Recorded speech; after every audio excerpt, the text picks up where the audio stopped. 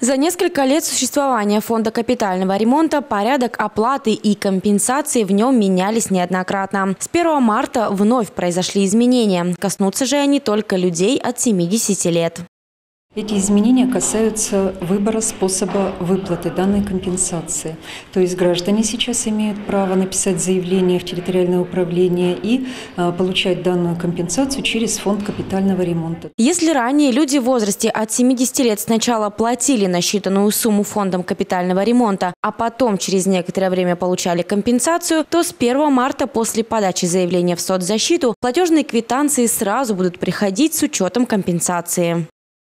Либо а, компенсацию можно получать эм, в прежнем порядке, то есть э, путем перечисления денежных средств на счета собственников через соцзащиту. То есть это касается лиц старше 70-80 лет, одиноко проживающих, либо проживающих в составе семьи, состоящих из граждан пенсионного возраста.